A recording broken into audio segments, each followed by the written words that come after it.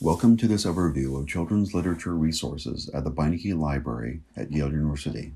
My name is Timothy Young, and I serve as curator for modern books and manuscripts, with a focus on many areas, including children's literature.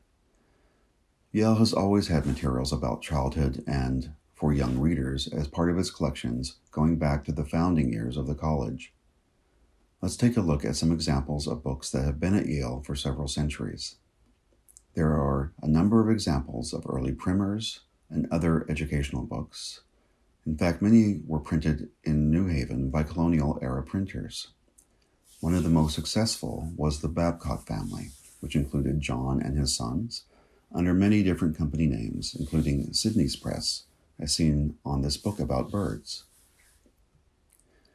This title from 1831 was full of cautionary tales to warn children of the dangers of living in a quickly modernizing world, from hot stoves to angry dogs to galloping carriages. In a wider sense, there have been many titles acquired by the Yale Library that appealed to younger readers and even teenagers, keeping in mind that well into the 19th century, students as young as 14 years old could be enrolled at Yale. So, joke books and satirical magazines joined more serious tomes on the library shelves.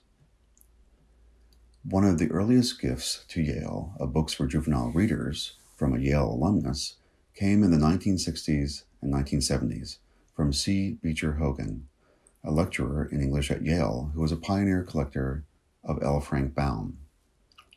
However, the modern growth for juvenile materials at Yale coincided mainly with the establishment of the Beinecke Library and our connection with the Beinecke family. The first major research archive related to childhood and children's literature to be placed at Yale was the J.M. Barrie Papers. This was a gift from Walter Beinecke Jr., a son of one of the three brothers who funded the construction and operation of the library. He said that he started buying Barrie materials for two reasons. He was a dedicated smoker and purchased a first edition of Barrie's My Lady Nicotine. And then he moved on to Peter Pan materials because he had young daughters who loved the 1950s Walt Disney adaptation. But because he came from a family of collectors, he continued to widen his scope, as one must do with Barry. We must keep in mind that the Peter Pan story and its variants were the sole juvenile works created by J.M. Barrie for children. The vast majority of Barrie's other works, and there were hundreds of them novels, plays, stories, even musical scenarios were for adult audiences. He was arguably the most successful playwright in England at the turn of the 20th century, but Peter Pan remains the most enduring of his works. Here is a wonderful large scale costume sketch by William Nicholson for the original production of Peter Pan, and some views of the three act version of the play used in the 1904 1905 production. It includes manuscript revisions in an unidentified hand, and is interleaved with lighting plots, stage sketches, and prompt cues. Of special note is a preface titled A Note on the Acting of a Fairy Play. Here is a map of Kensington Gardens by Arthur Rackham, and an autograph manuscript signed of the five act version of Peter Pan prepared for publication with a dedication to the five, dated May 9th, 1928. And the rarest item of all, the only surviving copy of The Boy Castaways of Black Lake Island, published by Barrie in 1901, the genesis of the Peter Pan story. The next juvenile literary archive that came to Beinecke was more local and also more fragmentary. The surviving papers of the William R. Scott Publishing Company, which was based on a progressive educational model as taught at the Bank Street School in New York in the 1930s one that ran contrary to what library practice held as a standard of service for young children. But thank goodness, because it brought us such brilliant authors as Margaret Wise Brown, Clement Hurd, and many others, such as Gertrude Stein, whose The World is Round was published by Scott in 1939. The William R. Scott Catalog of Children's Books, 1938 or 39, included an important preface about the aims of the company.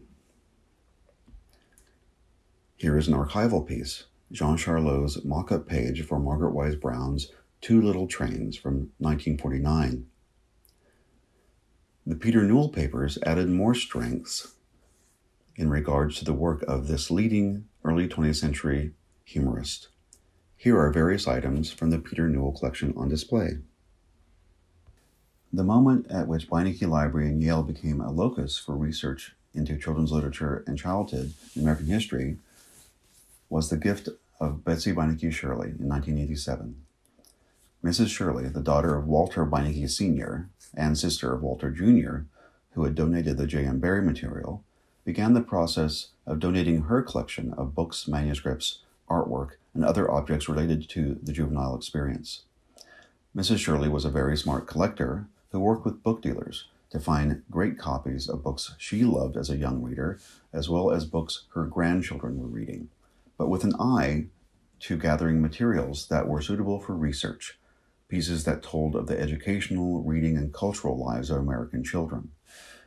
Here are some interesting examples from our collection, such as the Philadelphia Vocabulary from 1787 with a flyleaf showing ownership marks for the book. Juvenile Amusements, printed by G.J. Loomis and Company in 1822, which taught the basics of the alphabet, as well as images of wholesome pastimes, such as blowing bubbles and spinning yarn. However, amusements were limited for children in early America. Most of their time required attention to their heavenly souls, as pointed out in titles such as Honey out of the Rock Flowing to Little Children that they may know to refuse the evil and choose the good, by the prolific Isaac Watts, printed in 1715 in Boston.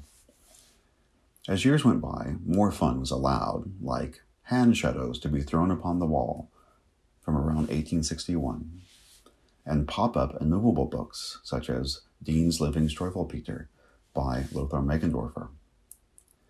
Betsy Shirley was drawn to interesting formats for children, such as printing on cloth as in this example of a kerchief with the story of Cock Robin, as well as books for the blind, such as this item printed in New York in 1911.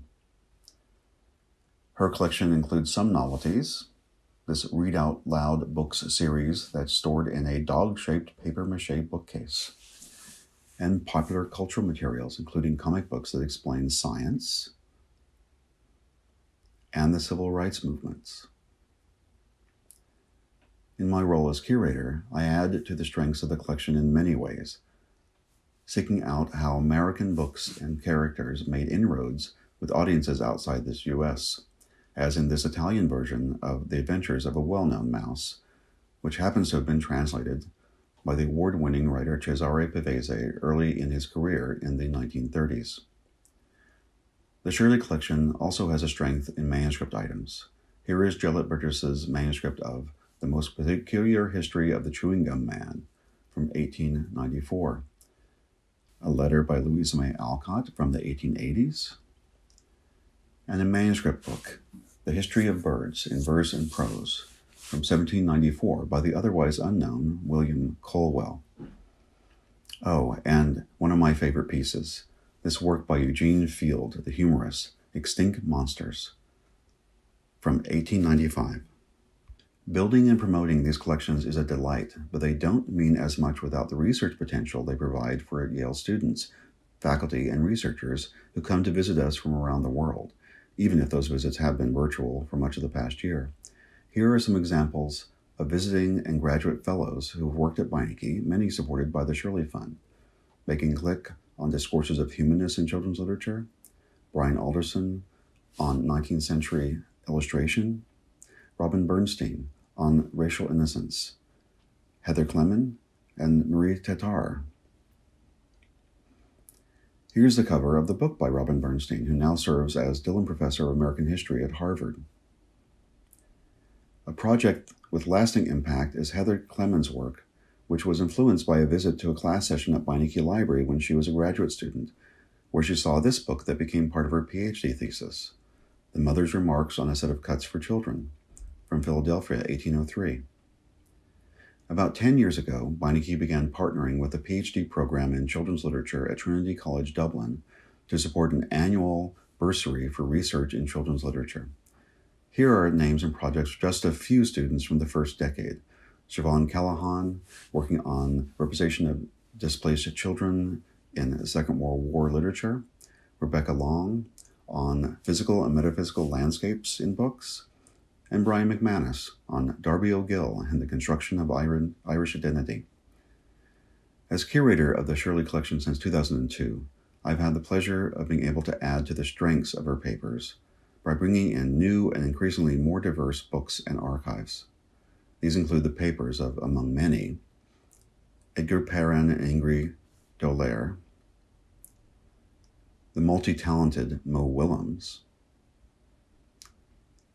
and the work of Russell and Lillian Hoban, whose books, I hope, have a continually refreshed audience. And it is my pleasure to tell you about our most recent edition, which will be announced soon. The papers of multiple award winning author Jacqueline Woodson.